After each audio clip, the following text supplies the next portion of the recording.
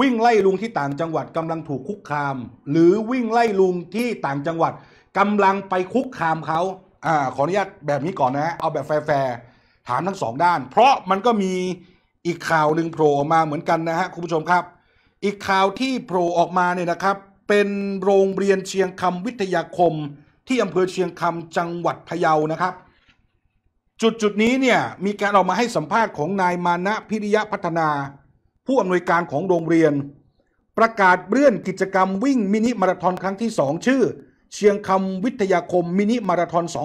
2020 จากเดิมก็คือวันที่ 12 มกราคมไปเป็นวันที่ 11 มกราคมก็คือเลื่อนมาหนึ่งวัน ซึ่งตรงกับวันเด็กแห่งชาติ จะมาวิ่งวันเด็กแทน เนื่องจากเห็นว่าวันเดิมเนี่ยมันไปตรงกับกิจกรรมทางการเมืองที่มีการจัดกิจกรรมวิ่งไล่ลุง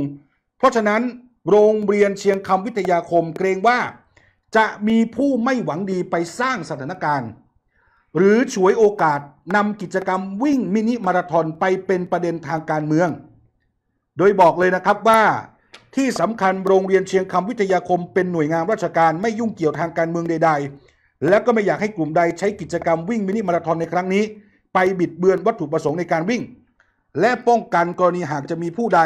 หรือผู้ไม่หวังดีจะฉวยโอกาสหรือแอบอ้างกิจกรรม ไปเป็นประเด็นหรือว่าในยะทางการเมืองที่ให้คุณหรือว่าให้โทษกับผู้อื่นด้วย เห็นไหมฮะคุณผู้ชมครับ คือมันเป็นอย่างนี้ ตั้งแต่ที่มีการดำริหรือว่าประกาศว่าจะเริ่มกิจกรรมวิ่งไล่ลุงขึ้นมาเนี่ยนะครับ ทุกคนถามทั้งประเทศว่าทำไมคนจัดถึงเลือกจัดวันที่ 12 มกรานะทำไมถึงเลือกวันที่ 12 ไม่มีนัยยะทางการเมืองเลย ไม่มีประเด็นทางการเมืองเลย ทำไมวันที่ 12 ปรากฏว่ามีคนไปตรวจสอบครับ ตารางการจัดงานวิ่งทั่วประเทศ ปี 63 เนี่ย คนจัดจัดงานวิ่งมากที่สุดก็คือวันที่ 12 มกราคมปี 63 พอดี แล้วกลุ่มนี้ก็ประกาศจัด ก็เลยทำให้หลายคนเนี่ยรู้สึกเป็นกังวลว่า ถ้าเขาวิ่งเพื่อกิจกรรมอย่างอื่น แล้ววันนั้นก็มีการจัดกิจกรรมวิ่งไล่ลุงด้วย เขากลัวว่าจะถูกเคลมนะฮะถูกเคลมว่าเป็นการจัดกิจกรรมวิ่งไล่ลุง ด้วยหรือไม่อย่างไร ซึ่งในประเด็นนี้พออโรงเรียนถึงขนาดบอกว่าเราก็จัดของเราวันที่ 12 อยู่แล้ว แต่จู่ๆจะมาจัดวันที่ 12 ด้วย เพราะนั้นเราขอเลื่อนมาเป็นวันที่ 11 จะดีกว่าตรงกับวันเด็กแห่งชาติ พร้อมกับประกาศเลยนะครับ นายมานะพิริยะพัฒนาบอกว่า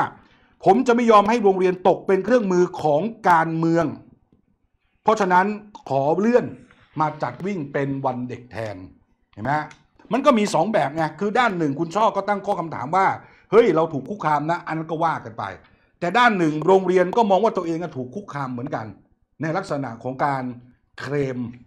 เรื่องของการวิ่งที่โรงเรียนหรือไม่อย่างไรอะก็เป็นมุมมองของสองฝั่งนะครับ ผมก็หยิบมานำเสนอให้กับคุณผู้ชมได้รับทราบกัน